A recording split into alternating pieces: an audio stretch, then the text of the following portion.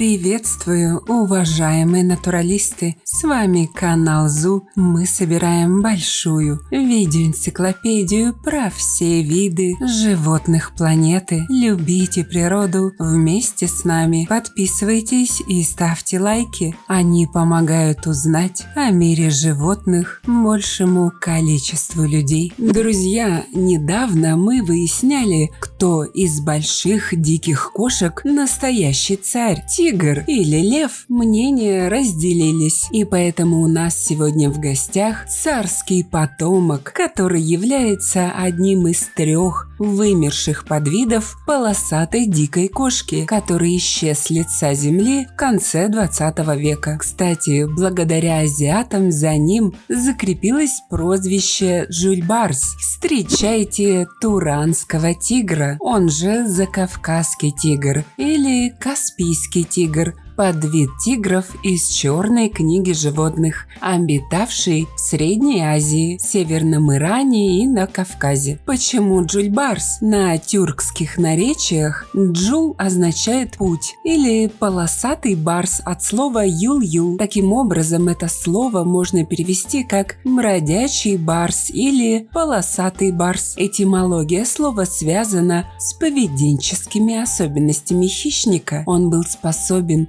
совершать путешествия за сотни и тысячи километров от места своего первоначального пребывания. А за сутки этот тигр мог пройти до 100 километров, что говорит о его супервыносливости. Ведь далеко не все котики марафонцы, они скорее спринтеры. Если вкратце о размерах, то эта кошка находилась примерно посередине между амурским и мингальским большими тиграми. В то время амурцы были самыми крупными, ну а бенгальцы наступали им на пятки. Длина взрослого самца туранского тигра составляла около 2,7-3 метра, а его средний вес был около 200 килограммов. Максимальный вес каспийца мог достигать 250 килограммов и более. Джуль Барс отличался ярко-рыжим окрасом шерсти, а также длиной длиной полос. Они были более длинными и имели коричневатый оттенок. Зимой мех у туранского тигра становился более густым и пушистым, особенно на животе. Зимой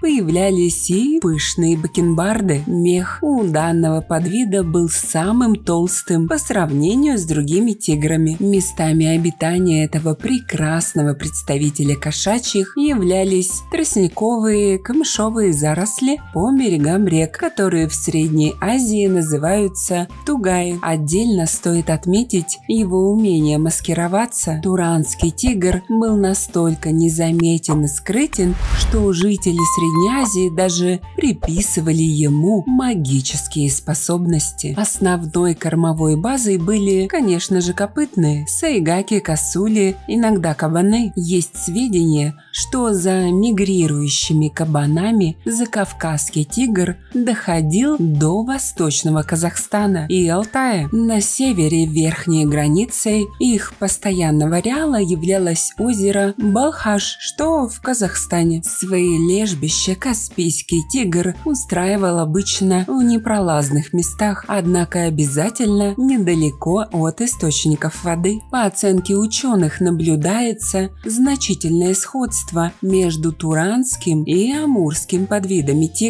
указывающее, что популяция амурского тигра является генетически близкой туранским тиграм. Научные изыскания указывают на то, что общий предок туранского и Амурского тигра колонизировал Центральную Азию через регион Шелкового пути из Восточного Китая, причем менее чем 10 тысяч лет назад. Впоследствии он распространился на восток, образовав популяцию амурского тигра на Дальнем Востоке России. Однако впоследствии действия человека изолировали ареалы популяции туранских и амурских тигров друг от друга, и они разделились на подвиды. Ну а теперь о грустном. В Средней Азии местные жители, как правило, считали, что тигры не представляют угрозы для жизни людей, или, по крайней мере, они мирились с их существованием рядом со своими жилищами. Наибольшее же влияние на снижение численности популяции тигров в Средней Азии оказало освоение российскими переселенцами этого края, так как российская администрация прилагала значительные усилия для уничтожения этих хищников. В 30-е годы 20 века закавказские тигры водились на берегу Амударьи в заповеднике Тигровая Балка в Таджикистане в районе границы с Афганистаном. Последние документально подтвержденные случаи появления тигров на территории Советской Средней Азии были зафиксированы в конце 40-х, начале 50-х годов. Последний, появившийся на советской территории на границе границы с Ираном «Тигр» был зафиксирован 10 января 1954 года, когда пришел сюда с северных районов Ирана. А последние следы «Тигра» были отмечены 8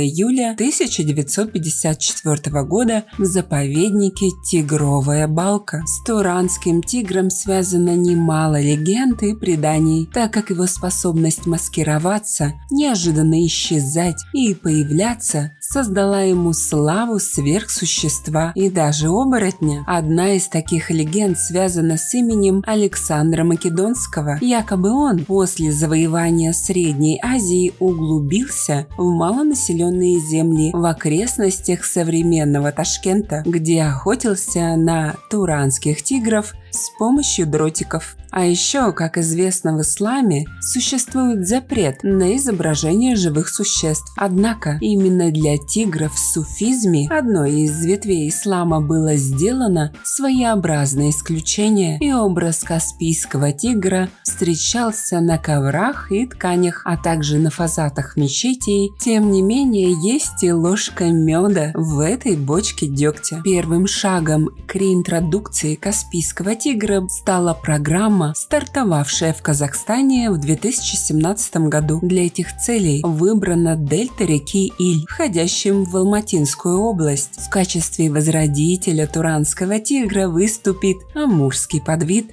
Подготовка к старту проекта 2024 год. Экологические исследования показали, что в Средней Азии есть небольшие участки с хорошо сохранившейся естественной средой обитания, полностью подходящей для каспийских тигров. А если учесть его суперскилл в маскировке, то, возможно, он еще жив? Как считаете, есть вероятность того, что Джульбарс еще жив? напишите в комментах.